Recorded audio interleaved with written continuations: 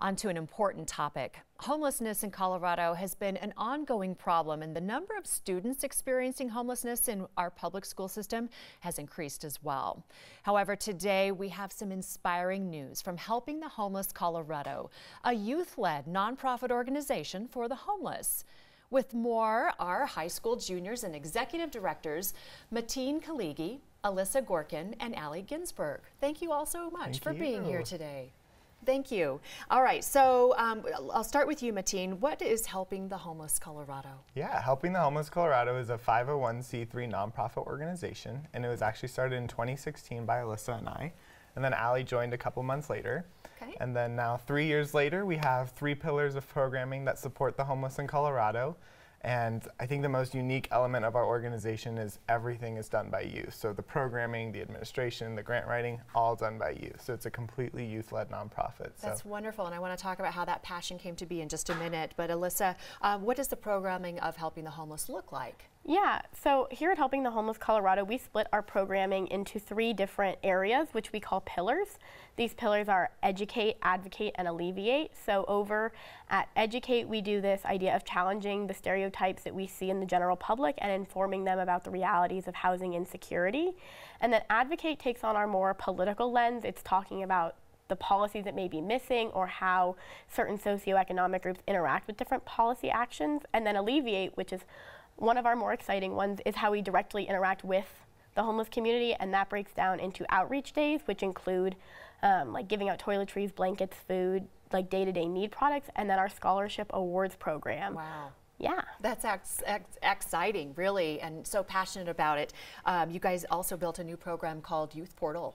Yeah, so that? youth portals, just something new we added over the summer. So basically, from our research from our scholarship winners, in addition to just teens in general experiencing homelessness, there's so many, almost 25,000 across the state. So we found that this common pattern that teens just didn't really know what was accessible to accessible to them in their situation. So um, we took elements like how to write your common application for college, or how to do standardized testing, how to get campus food vouchers, things that us as regular students have access to, and then we wrote articles about them and narrowed them down into the lens of homelessness and how teens experiencing homelessness can utilize those resources to the best of their ability. So it's just a link on our website. It's open to everyone, and there's about 10, 15 articles on there right now, and we just keep adding more as different programs come up. Wonderful.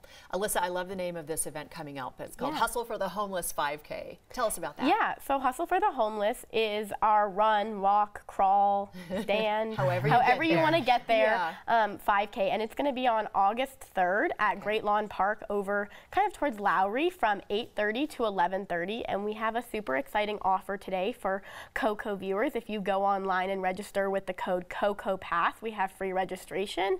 Um, it's a really good event to just kind of maybe introduce you to the organization or come back and have a really good time with the whole family. Love it. Ellie, on the end there, tell us about the volunteer opportunities and how folks can get involved. Of course. So we have tons of volunteer opportunities. The easiest way to get involved is to come down for an outreach day.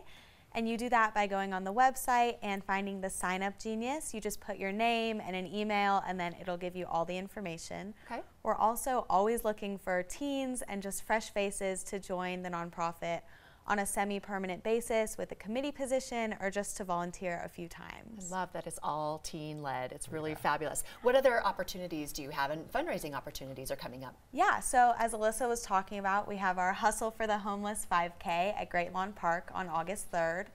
And you can register for that on our website. If you use the code COCO Pass, you'll get free registration. We also have plenty of monthly restaurant fundraisers, and information about that can be found on our social media. We really spread that everywhere with posters and posts, and they'll be on our website. And then also upcoming this fall, we're going to have our second annual benefit gala. Tickets for that will be available on the website, and we'll have a silent auction and a few other fun little surprises. And then we always accept donations, so just go on the website. We really appreciate it, and it just helps us do our programs. Wow, just teens doing some remarkable work for a very important cause. Thank you so much for your passion in this Thank program. you. You're welcome. Well, helping the homeless Colorado needs your support to continue their mission of advocacy and education. Register for the Hustle for the Homeless 5K on August 3rd. Enter promo code COCO Pass for free registration.